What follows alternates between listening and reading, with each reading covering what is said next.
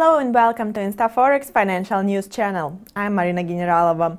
More and more participants join the process of de-dollarization.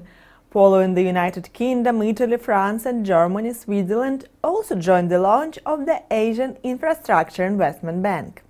The so-called AIIB was introduced by the Chinese authorities as an alternative rival to the World Bank, headed by Washington. The official representatives of Bern announced that they considered joining new financial structure, thus strengthening relations with Beijing. Such attempts to get closer to China followed the support of the European Commission. The European Commissioners pointed out that investments in the Asian infrastructure provide new prospects for the development of the European business. Being under the US pressure, Australia, Japan and South Korea stayed out of the Asian Infrastructure Investment Bank. However, after the recent extensions of this institution, Australia announced a possible review of its decision. Also the other day, the meeting of the finance ministers of China, Japan and South Korea was held in Seoul, where most likely economic issues and possible integration into the AIIB were discussed.